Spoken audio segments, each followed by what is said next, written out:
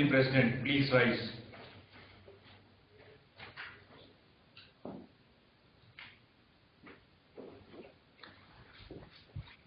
Namaskar.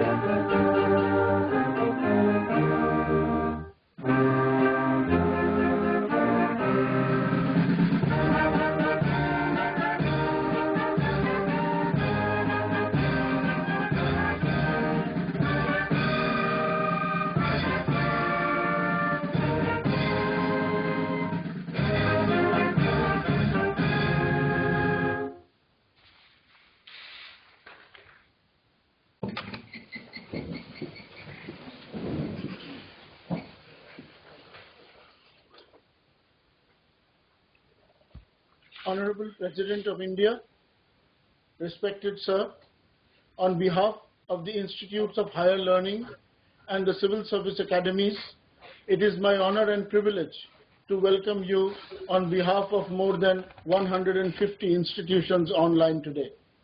At the outset, we all wish you a very, very happy new year, good health, and great leadership for our beloved country.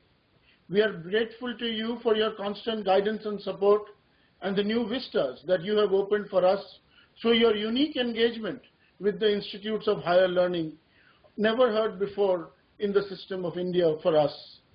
We are blessed to receive your deep insights that have enabled us to identify new directions that have helped stretch our imaginations and propel our efforts towards achieving and maintaining excellence. Your constant presence with us is the illuminated shelter that showers in the light and protects us from the storms. Today is another landmarking day where you have given all of us the opportunity to share with you our experiences on the extremely relevant topic of youth and nation building. Our nation, which is in a sense the youngest in the world, needs to properly nurture the remarkable talent that is available across the length and breadth of the country, which is capable of not only transforming the country but leading the world. This potential needs to be translated into reality, and it is our responsibility in the academia to help our youth attain their true potential. For this today, sir, we seek your guidance. Thousands of students and young officers from hundreds of institutions participating in this conference are eagerly waiting to receive your message and directions. We are also delighted to know that you are very interested to hear from us the various experiences that our young students and probationary officers have had in contributing to nation development. Ten young men and women from various institutions across the country will share their accounts with you. We hope that this will give you a first-hand feeling of what the youth can achieve for our beloved country. We will then wait to hear from you your remarks on the way forward for us. I personally thank you on my behalf and on behalf of my institution to have so aptly chosen IIT Kharagpur, the first IIT which was built on the platform of freedom struggle, which as our first Prime Minister Pandit Nehru said, represents India's urges and India's future in the making. We now therefore request you, sir, to give a welcome address, and I will now invite after your address the speakers for a discussion, which we believe may chart a future course for this country. It is now my honor and privilege, sir, to request you to kindly address all of us. Thank you. Vice Chancellors of Central University, Directors of IITs, NITs, IISERs, and other institutes of higher learning and civil service academies, faculty members, my dear students, I wish you all a very happy and prosperous new year. let 2016 be a year of achievement and fulfillment for each one of you. India is a nation with a significant young population. Over 600 million people in our country are below the age of 25 years. The National Youth Policy defines youth as those persons who are in the age group of 15 to 29 years. I am, however, not subscribing to any technical definition here.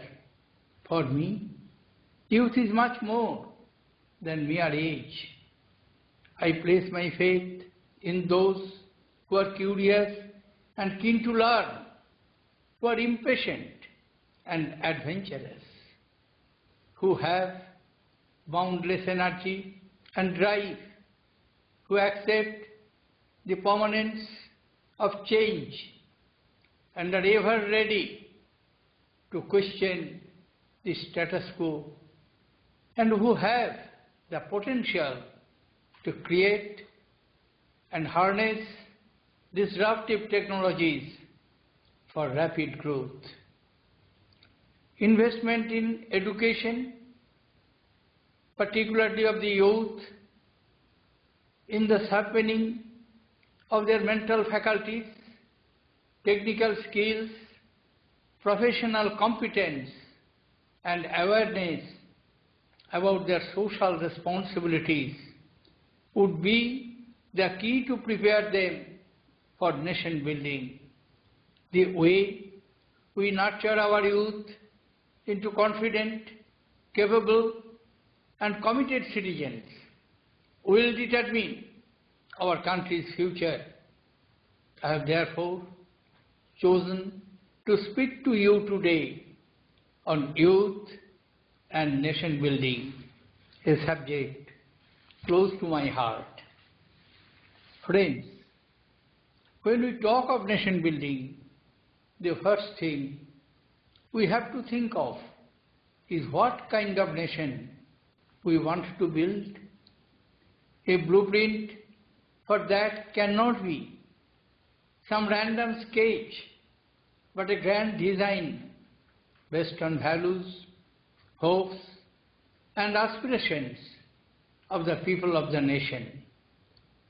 On 26 January 1950, we laid a strong foundation by giving ourselves the Constitution of India. It was the Magna Carta of socio-economic transformation for building an inclusive and modern India. We promised ourselves to secure to all the citizens of this sovereign nation justice, liberty, equality, and fraternity. The core principles of democracy, secularism, gender equality, and socio-economic equity became the beacon of our journey forward. Friends, let me pause here to take a look at the change that surround us. Information and communication technology has made us think, act, and react differently.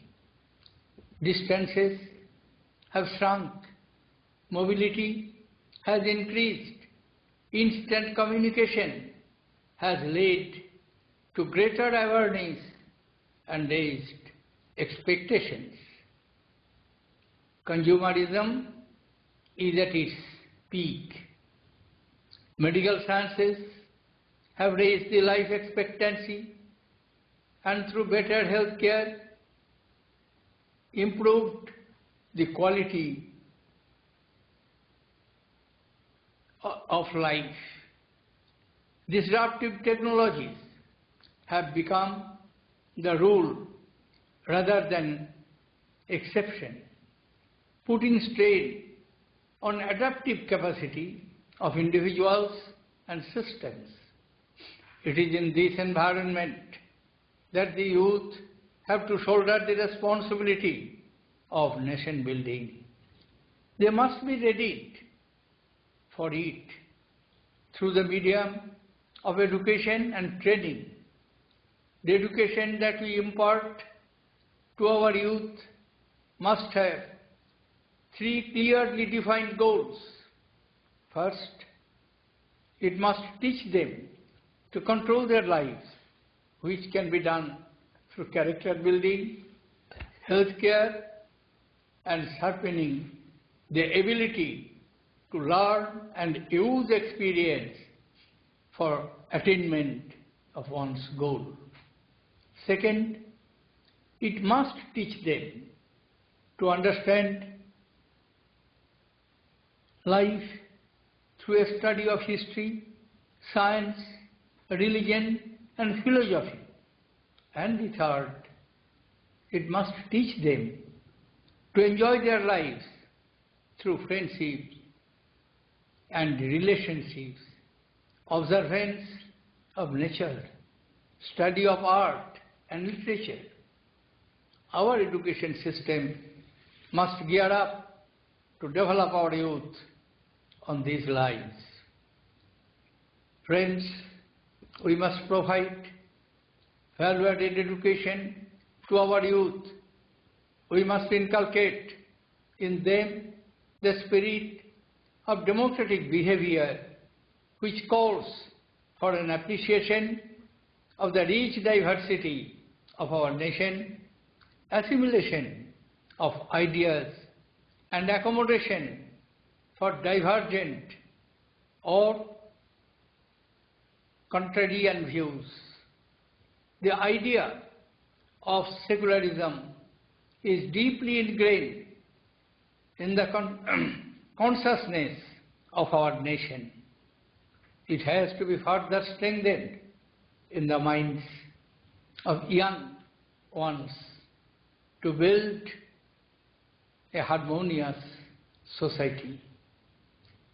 Gender equality is essential for building an inclusive society unless women participate on equal terms and in equal numbers in the process of nation building, all efforts will remain incomplete.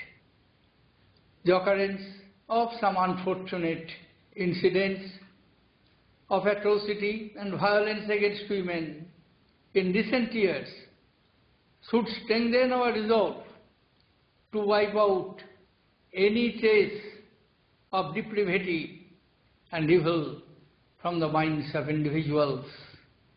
Respect for women is sacrosanct in our society with its roots embedded in our civilizational values, which are reflected in our constitution. A spirit of reverence towards women must be instilled in our children, in our homes and educational institutions. It must guide social conduct of an individual from an early age. Friends, without socio-economic equity, the word inclusion has no meaning. During the last few years, we have provided citizens the right to information, employment, education and food, backed by legal guarantees. The government has launched programs for financial inclusion, creation of model villages, and formation of a digitally empowered society. We have strong legislations and schemes oriented towards inclusion. What we have to do now is to create enough opportunities through their implementation to meet the ambitions of an aspiring India. Friends, the nation which you have to build as bureaucrats, technocrats, scientists, educators, social innovators, thinkers, and agriculturists has to be an India which will ensure a decent and fulfilling life to all its citizens. It has to be a Swachh India, Swasth India, a digitally empowered India, educated and skilled India, and a tolerant, harmonious, and peaceful India where the last person feels a part of the narrative of the country. India needs novel ideas and creative solutions to overcome challenges in the fields of education, skill development, sanitation and healthcare, financial inclusion and service provision. A successful, innovative idea is one that has scalability. How can we skill one million of our youth every month? How can we gainfully employ trained manpower in our industry? How can we provide healthcare services to each rural household? How can we meet the financing requirements of small farmers and entrepreneurs in villages and small towns? How can we make public utility services more accessible, inclusive, and transparent? The answers to these questions lie in creating a strong digital backbone that can lead to efficient service delivery, putting a mobile phone in the hands of a person living in a remote village and teaching him to use it to access information, knowledge and services is a great act of empowerment. It gives true meaning to the word inclusion. For building India of our dreams, we all have to work together to develop an ecosystem which will bring together innovation, empowerment and financiers, which will recognize merit and give primacy to science, technology and innovation, a facilitative and supportive environment for free play of all creative forces, be it in government, corporate sector or academia, has to be created. The government has just launched Startup India to promote startups and offer incentives for entrepreneurship and job creation. The over 4,500 startups make India the third largest startup ecosystem in the world.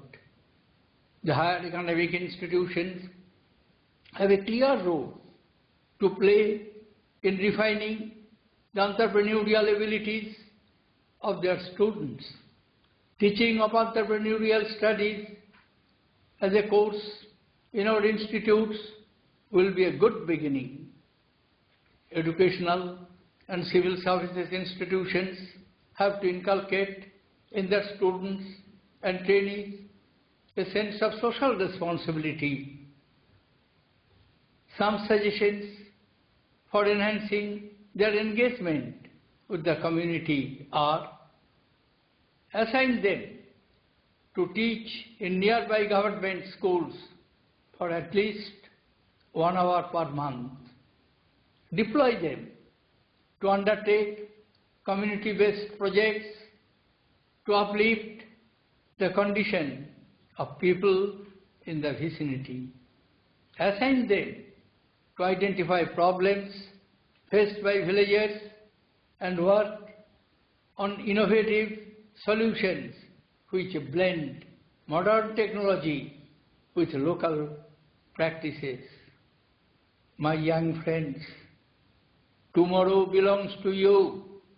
your commitment to national goals will determine the direction of our future growth as you get ready to embark on the journey to fulfill your dreams. Let me share with you my own little checklist for nation building. We work together towards nation building if we produce more than we consume. We give more than we take. We work more than we idle. And we think more than we talk. You may just find this list useful. Thank you. Jai Hind. Respected sir, thank you so much for firstly redefining the concept of youthfulness and for your clarion call for the youth to arise and awake for nation development to build the new India.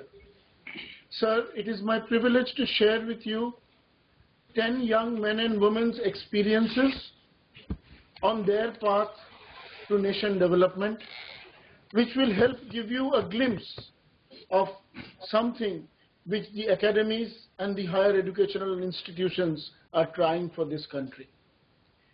First, I will invite Sri Yash Pratap Singh, a student of the Indian Institute of Technology, Gandhinagar. Honorable President, it is with extreme elation I share before you my experience on youth and nation building. Sir, to propel the nuances of development which is essential for the building of the nation, the youth in India must be precisely aware of the term development as a concept. Apart from understanding the technological and scientific significance of the term development, it is necessary for the youth in India to adopt a holistic approach and reflect on the socio-economic as well as the political aspect of the term. Keeping this perspective in mind, for the youth to broaden their thinking capacity, we at IIT Gandhinagar, as a part of the course curriculum, undergo around 20% of the coursework in humanities and social science. Sir, we need to understand the importance of social policies and technological advancement, which is why I think there is a prerequisite to motivate youth in engineering streams to pursue both technical as well as courses with social and literary implications. At a time, sir, when the world is infested with an aspiration to become smarter in both virtual and real settings, it is the responsibility of our nation to embed the roots and traditions of the Indian knowledge systems. This will allow us to leverage this technological progress for social innovation and advancement. Sir, to participate in nation building, youth also needs to understand the nation and its pulse, which invites an urge, a curiosity to explore. To this effect, sir, I would like to share the Explorers initiative of our institute, which provided an opportunity to 15 of our colleagues to travel as many, as many as 15 states in different groups in different parts of India, and that too on a meager budget. Hence, body mimicking the experiences and the journey of a common man. This kind of exploration sensitizes the youth towards the nation and its nationals, hence positions them well to drive the process of development. Sir, with an optimistic view of the future, I believe that we, the youth of our nation, will craft a nation as per our shared vision and dream. We shall engage in building a technologically fueled, innovation-driven, socially concerned nation. Thank you. Thank you, Yash. I will now request Sri Shaptaroshmi Bandyopadhyay from the Indian Institute of Engineering, Science and Technology, Shibpur, West Bengal, to share his thoughts and experiences. Honorable President, sir, it is my privilege to represent the second oldest engineering institution in India in its newest reincarnation as IIEST Shibpur. The energy, vigor and zest for life possessed by youth can be used for building our nation in the 21st century. The central purpose for advocating youth leadership is to support the youth to engage in innovative activities for ensuring a modern, self-reliant India in its true sense. For this, the young minds of our country need to come together to work as a team with utmost dedication for solving the global challenges faced by our nation and society. I urge all my friends to give research a chance in India, the research that should give practical, creative, and innovative solutions for eradicating these problems. Today, technology may be the mode of admission in premier institutions in India, but as students, we must strive for ingenious technologies to improve lives. In our institution, we are encouraged to contribute in research and development, particularly in energy, environment, like manufacturing robotic sweeper cleaners, advanced materials, healthcare, communication, transportation, like solar e-rickshaws, and so on. We are working hard to provide arsenic-free drinking water in rural Bengal, imparting skills to unemployed youth, and helping schools and organizations in installing solar panels. In the modern world, the expectations towards engineers have undergone a paradigm shift with an increased social responsibility to apply knowledge for the national development. However, the most important asset of the youth is their innovative and creative mind, which is the root of nation's development and progress. I would like to conclude by quoting Swami Vivekananda, who said, Never say no, never say I cannot, for you are infinite. Thank you. Thank you, Shaptarashmi. I will now invite Ms. T. Pranitha Reddy, a student of the National Institute of Pharmaceutical Education and Research, NIPER, Hyderabad. Honorable President of India, a very good afternoon. It's a great honor for me, T. Pranitha Reddy, to represent the National Institute of Pharmaceutical Education and Research, NIPER Hyderabad, on this topic, Youth and Nation Building. I would like to start off with an instructive quote. It is really surprising how much the youth can do when they want to and how much they can't when they don't want to. Youth forms a major dynamic segment of our nation. Their energies, resourcefulness, character and orientation they define the pace of development as well as the security of our nation. I am privileged to be a part of that nation which enjoys the world's largest youth population. And this is the reason why other nations are eyeing our country as a source of technical manpower. Sir, I strongly believe that uh, the youth can contribute three-dimensionally to the progress of the nation. The first one being education. Empowering the youth with proper quality education, which is not only focused upon cognitive intelligence, but also imbibed with other holistic experience, with special attention to different dimensions like moral, ethical and spiritual values is necessary. We all know that a major proportion of the people who reside in villages are illiterate. The main reason being utter ignorance and lack of proper initiative to guide them in the right way. So here, youth can be of immense help. They, they can take up this responsibility upon their shoulders and they can light the candle of knowledge in every nook and corner of the country. The second one being development. In order to shift our country from the list of developing nations to developed nations, the agenda of science and technology has to be at the forefront in building the nation in a democratic as well as in a constructive way. There are certain constructive plans like Make in India, which helps in progressing the youth entrepreneurship and also motivates the people to bring laurels to our country. The third one being sustenance.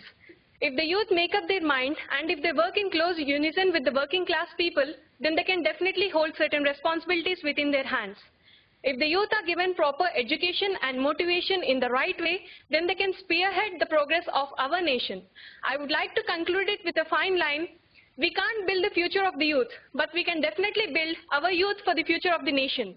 I wish you all a happy and prosperous year ahead. Thank you so much. Jai Hind. Thank you very much, Pranitha.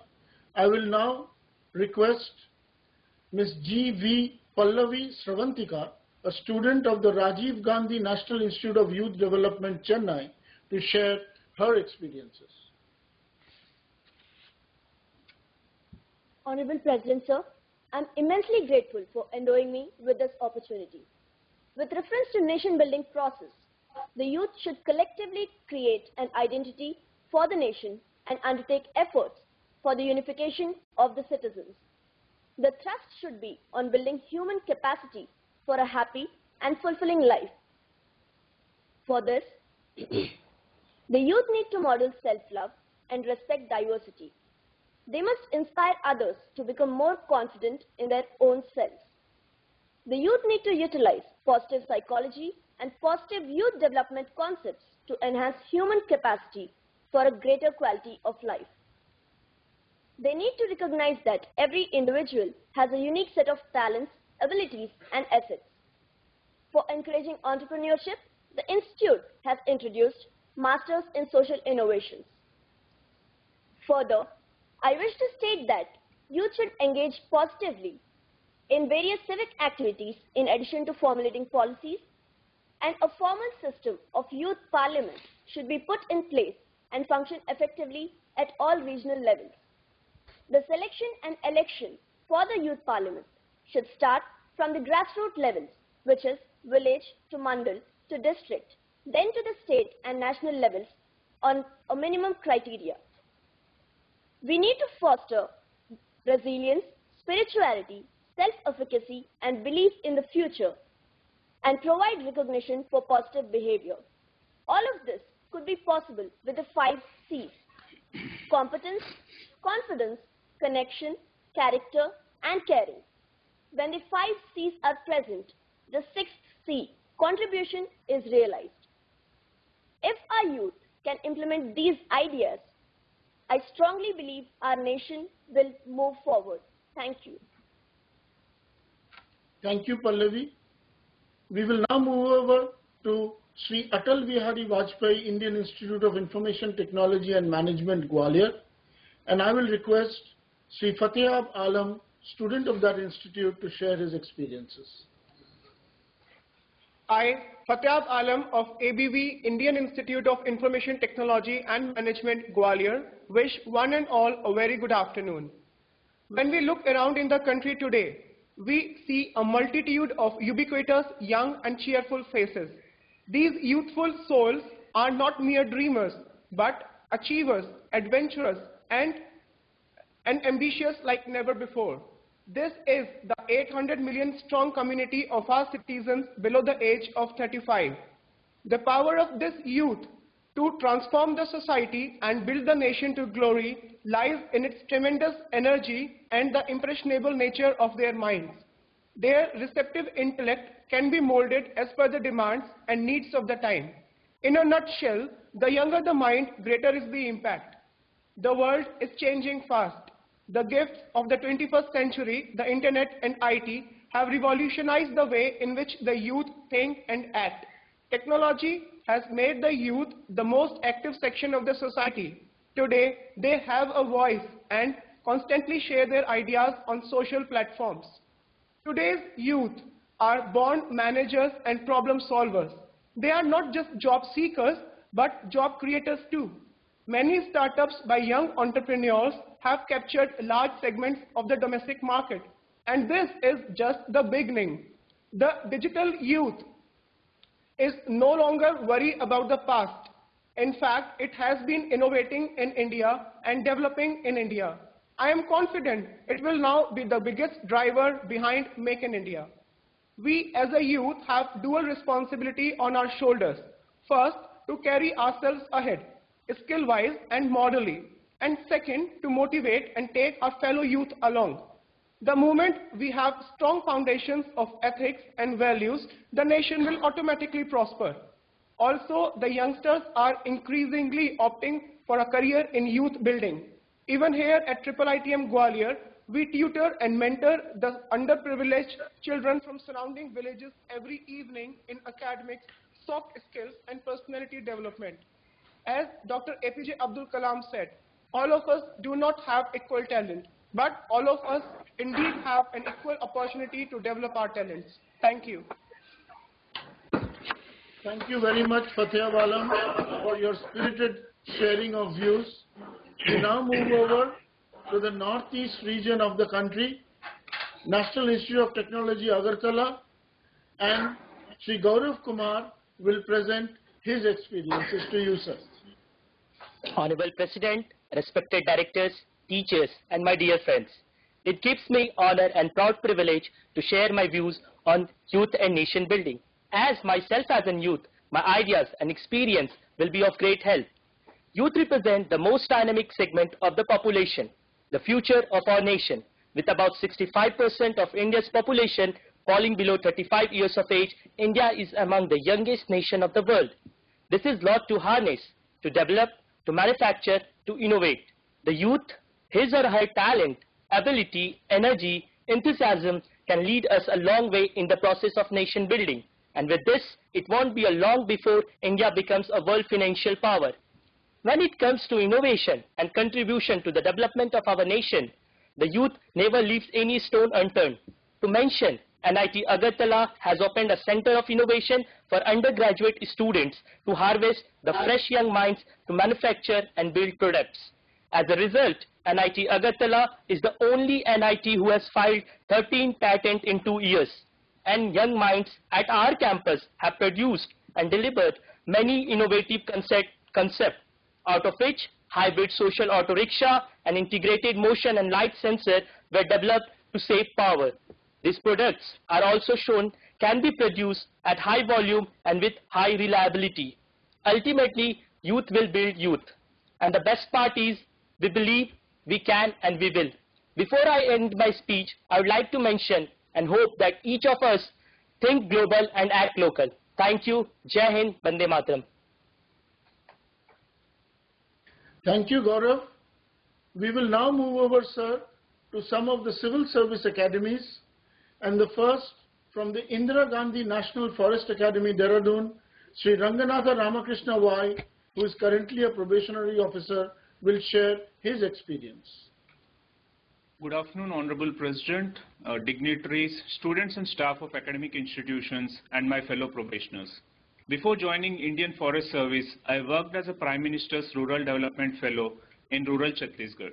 The main challenge was to ensure sustainable development while preventing the youth from veering towards left-wing extremist ideology, realizing that uh, by developing skills and by providing viable livelihood opportunities to the tribal youth, the menace of left-wing extremism can be tackled. The government of Chhattisgarh has instituted right to skill under rights-based approach and also established livelihood colleges in various districts. The viable livelihood options can be collection, processing, and uh, value addition to non-timber forest produce and traditional bamboo crafts and other forest-based activities, besides various others. We think that um, high employment generation through market linkages can only happen when the gulf of digital divide will be bridged so that the rural youth with adequate skills can be a part of India's startup story. As stated by you sir, earlier, India is currently the third highest startup ecosystem in the world. However, most of them are concentrated disproportionately in urban areas. There is a need for dispersed growth of startups, especially those catering towards rural areas. There is a need for convergence between Digital India, Startup India, and Skill India so that uh, youth of India can participate inclusively in holistic nation building. India is currently at, an, at its inflection point and it needs the energy, dedication and talent of the youth to harness its, to fulfill its potential as a developed nation. We feel that government of India should act as a facilitator to harness the potential of the youth. Thank you, Honorable President. Thank you very much. We now move over to the SVP National Police Academy, Hyderabad, where probationary officer Ms. Niharika Bhatt will share her experience. Honorable President of India, Sri Pranab Mukherjee, and friends from around the country, with the benefits of demographic dividend on our side, India has an incredible opportunity to tap the young and dynamic human resources for nation building. In my journey of becoming part of the IPS fraternity, I have come across youth from different socio-economic backgrounds with the common aim of seeing India develop and prosper. We all are extremely excited about working at the grassroots levels in different parts of the country and being part of the Indian Police Service. Policing is one of the areas where active involvement of public in day-to-day -day affairs helps make the system more efficient. Community policing has been a focus area of the Indian police, and the technological connectivity of today's youth can add new dimensions to the public-police interaction. Connectivity through Digital India campaign will enable officers to interact with youth and crowdsource ideas to make policing more citizen-friendly. Outreach programs for the youth can help give positive direction to their energies by not only making them aware of their rights, but also of their duties towards the country. Along with this, it is the responsibility of young officers like us to provide the Indian youth with a secure environment conducive to their intellectual and physical well-being. Being custodians of our future, opportunities for youth should be actively created by the government machinery to exchange ideas and keep them more involved in decision-making process. This way, India can confidently move into the future with youth power driving the engines of our national development. Thank you, sir. Jai Hind. Thank you, Ms. Bhatt. We now move to Nagpur, where Ms. Srishti Chaudhary, Officer Trainee at the National Academy of Direct Taxes, will speak to you, sir. Good afternoon, Honorable President of India, all the dignitaries, and participants present in this conference. For me, the role of youth in nation building includes two ideals, achieving professional excellence and fulfilling aspirations of citizens for development. During my previous career, comprising engineering, MBA, and a job in the corporate sector, I wanted to contribute to the nation by creating wealth. Later, I realized the importance of reaching out to the public at large. This led me to join the civil services. NADT has provided me with the platform to work on both the ideals. I believe that as the leading resource earner for the government, the IRS has a key role to play in the future of India. Going beyond the mandate of tax collection, we young officers need to educate the future taxpayers to make them partners in nation building. This would also help us curb the generation of black money by instilling a sense of pride in the youth as taxpayers. For this, we are going to launch a tax education program for the young students in Nagpur. I, as a young officer, strongly believe that our role must expand from tax administration to playing important role in national security matters. Working towards the second goal of citizens development, we have set up a social welfare cell at NADT with holistic support of all the officer trainees. We are providing support for nutrition, skill development, and women empowerment for the youth in orphanages for boys and girls. Such initiatives would help us be grounded to the social needs of the underprivileged.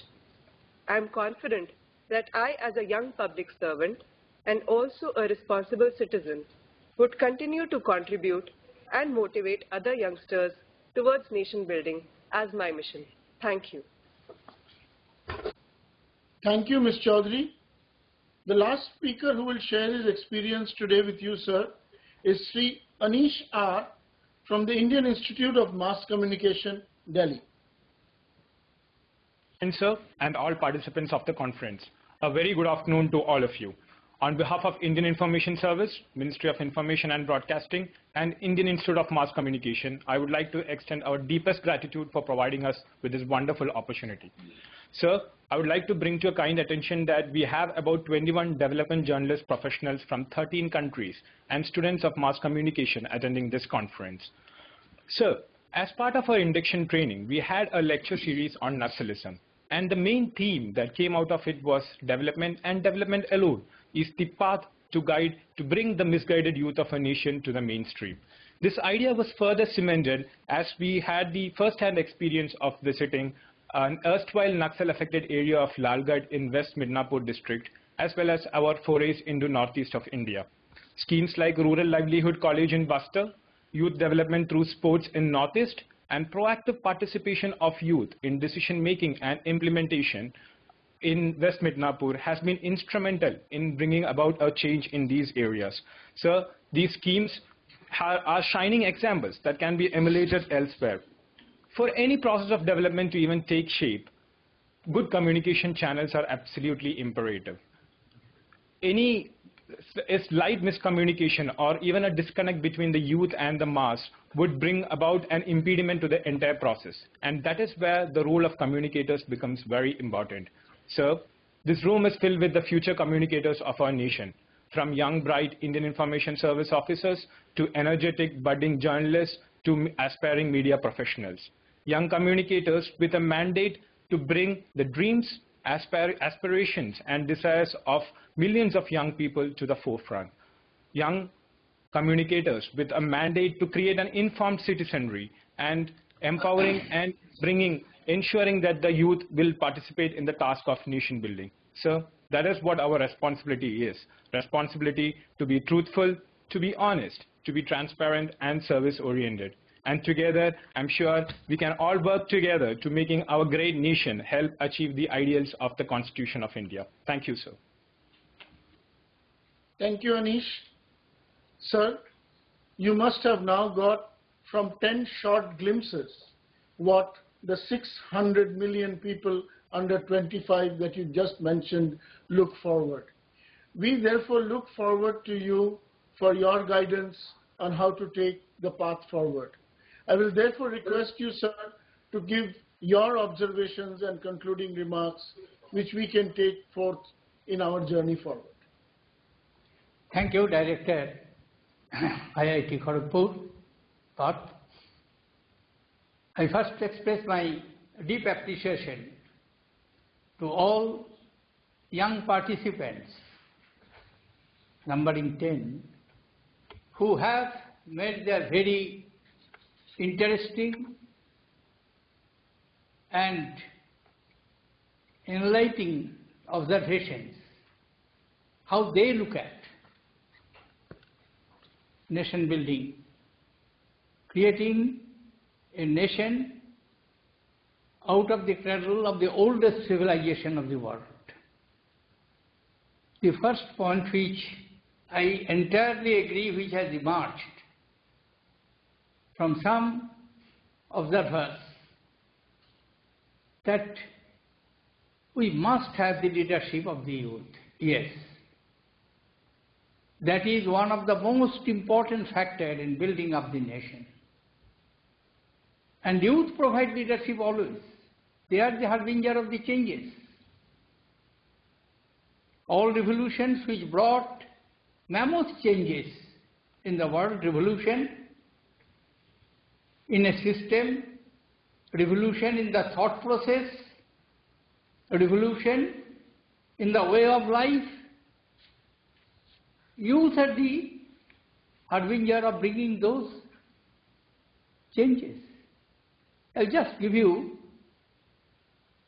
a small example from our contemporary history. Before the birth of the Indian National Congress, which was considered, it was conceptualized by a couple of British administrators and policymakers who were responsible for Indian administration. One of them was Octavius Hume. Before he launched his program, the formation of the Indian National Congress, he wrote a letter to 50 graduates, young graduates of Calcutta University in those days, in 82, 83. And there he mentioned exactly the point which some of you have tried to drive at. That leadership of the young generation, youth are needed to bring any change in the status quo. Therefore, there is no two opinion on it that you are to provide the leadership. I am happy that some of the professional and academies of training of the officers have participated. Forest Academy of Dehradun, Police Academy of Hyderabad, Nagpur Institute of Direct Taxes, and Institute of Mass Communication. In fact, you are chosen by the nation as the leaders you get tremendous opportunity as young civil servants, whether in the administrative cadre, whether in the police cadre, whether in the revenue cadre, when the responsibility of communicating, you are the leaders. The amount of responsibility you are to discharge on your young soldiers in any other system or organization, you will find that much more years are needed to have the level of the responsibility where the young civil servants and after the completion of probation, when they enter into their respective jobs, they enter into. So there is a system. We shall have to nurture it. The third point on which you have emphasized is true to the core, that technology. Technology brought the changes everywhere. All major changes in the world in different walks of life have been brought by the technology. Sometimes I wonder as a student of history that how is it? Only with 12,000 soldiers coming from abroad in 1526 Babur could capture India and establish the rule of almost 300 years of the Mughals in a vast land like India? Answer lies in the technology. Because he knew he had the technology. His soldiers had the technology to use firearms, which Indian soldiers did not have. They fought with their old bows and arrows, swords, spears, etc. Naturally, with gun, these weapons are ineffective and useless. Examples could be multiplied, but the simple point is that we must emphasize on technology. And as I am emphasizing on improvement of quality in education, particularly in the higher technological, higher educations, institutes of higher learning, am equally emphasizing on giving more and more emphasis on research, on innovation, and I am suggesting that each institute of national importance, not in the technical term, but in its scope of functioning and its own dimension, each of them should be the nucleus, should be the incubation center, should be the organic link between local innovators innovation, research, and also close link with industry. Because mere for academic purpose, research is not adequate. It must be made marketable. And there comes the role of the industry. I would like to tell you another story, very interesting. In the early days, another third quarter of the 19th century, when Germany began its industrial revolution, and Germany was united under great statesman Prince Bismarck. He introduced and large number of laboratories were established by the German industrialists. As chancellor, he wanted to visit one of them. While visiting, he asked the director of that institute, that, well, professor, what is your output ratio? Professor said, sir, out of 100 rupees investment, my 99 rupees investment it may not produce any result. But I am not worried about it. My investment of 1 rupee which will produce adequate results to compensate all the losses I have incurred. And looking at the Chancellor smilingly said that you will get enough revenue to run your state. So that is, it's not merely story, but it is absolutely necessary. Technology. I do not know whether I am running out of time. But surely I am deeply appreciative of your interacting responding to some of the suggestions and questions which I posed. I wish to have such interactions more frequently. And once again I assure you, as per the practice, this is my interaction with you at the beginning of the year. At the beginning of the academic session, I would like to have another interaction with you. Thank you. Let the new year be really meaningful to you. Let it be the year of achievement. Let it be the year of fulfillment. Somebody has commented that not only dreamer but achiever. Before becoming achiever, you must also have the dream. You must also have the vision. And you must have three C's, commitment, confidence and character. If you have that, nothing can prevent you. You will move onwards. Whole world belongs to you. Thank you, my young friends. Thank you, Vice Chancellor, directors, and other senior administrators of the central universities, IITs, NITs, and other institutes of higher learning. Thank you, ladies and gentlemen. Thank you, sir, not only for sharing your views, but giving all of us an opportunity to give our thoughts which you have listened so intently.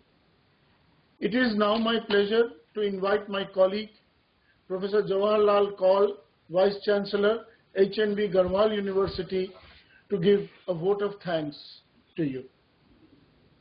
Thank you, Professor Partha. Honorable President, Sir, it's my proud privilege and honor to present vote of thanks. But before I do so, let me wish you a very happy new year and greetings from students, faculty and staff of HNB Garhwal University, which is located in picture C, Himalayas. Sir, on behalf of the students, faculty and staff of central universities, other academic institutions of higher learning, civil services academies, and on behalf of all of us present here, I express our profound gratitude and sincere thanks to your good self for sparing your valuable time with us.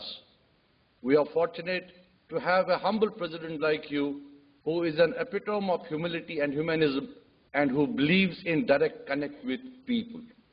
Our interaction, sir, with you at Rashtrapati Bhavan at various occasions reflects that as much as it reflects challenges and vision for higher education in India.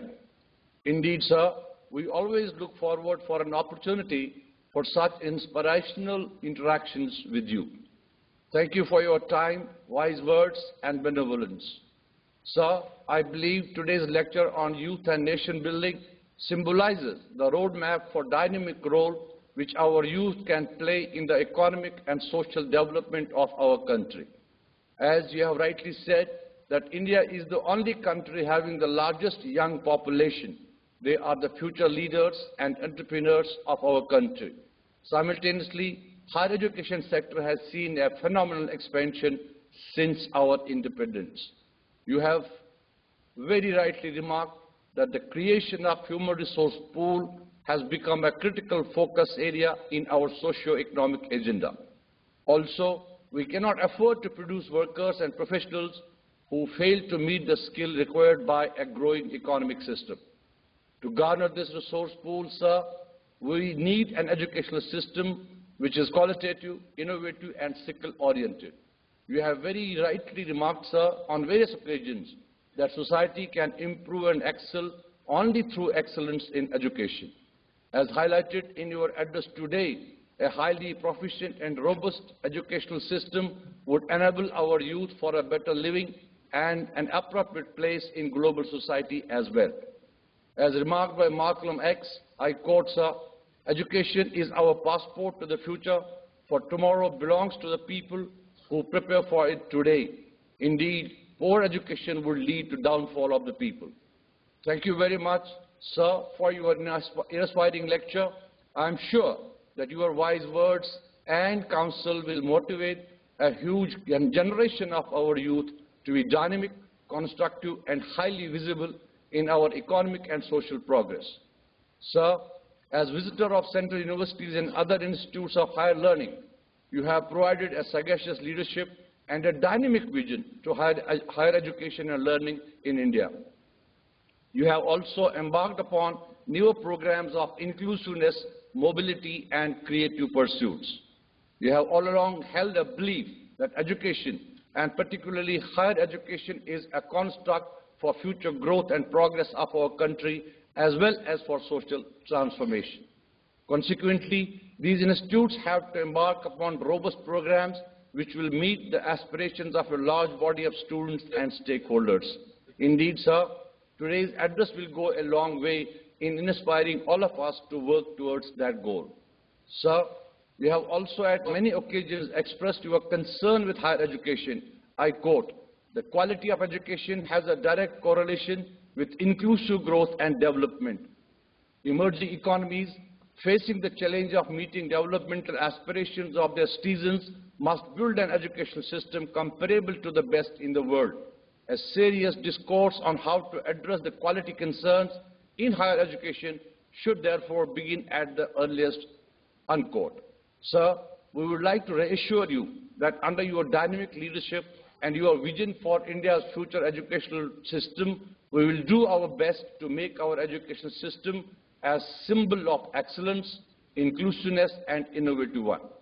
With these words, I would like to thank you on behalf of all of us for your time, wise words, and counsel. Thank you very much, sir. I would also like to thank Srimati Omita Paul, Shri Suresh Yadav, and officers and staff of Rashtrapati Bhavan for their untiring efforts in making this program a success. They have all along looked after us very well while at Rashtrapati Bhavan. Thanks very much to them also. Thanks are also due to Professor S.V. Raghavan of National Knowledge Network and all the members of NIC video conferencing team for their wonderful work. We appreciate and put on record our gratitude to all of them. Thank you one and all. Jai. Ladies and gentlemen, may I request you all to rise for the national anthem.